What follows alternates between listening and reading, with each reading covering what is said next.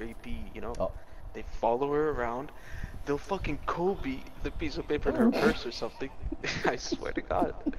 Stefano, I've seen people and I've seen So videos reverse of people pickpocketing. copying numbers. Oh. No, no, no, no. This is reverse. Yeah, this is reverse pickpocket. I've seen people do this, copying a piece of paper from one card to the other. If they see the window roll down a bit on a girl, Kobe, go fucking toss that shit in. I swear to God, that's So while people are making okay? fucking airplanes like in schools, you guys are making like advanced jet airplanes that can fucking fly. Like go with the like wind, the wind fucking going against you in a car, two moving vehicles, moving objects Listen to me, into when a you live in a society- object. We live in a society. We live in a society. Listen to me. When you live somewhere where this is looked down upon and it's restricted, people be creative. People could come up with some fucking creative shit.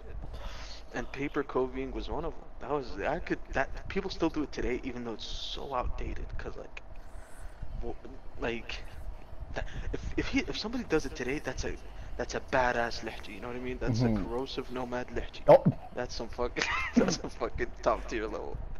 Not midget. Midget is like top ten. Oh, you know what I mean? okay, Like that's fucking okay. Just a corrosive badass. All right. Okay. yeah, just a corrosive. man, you know, Okay. just-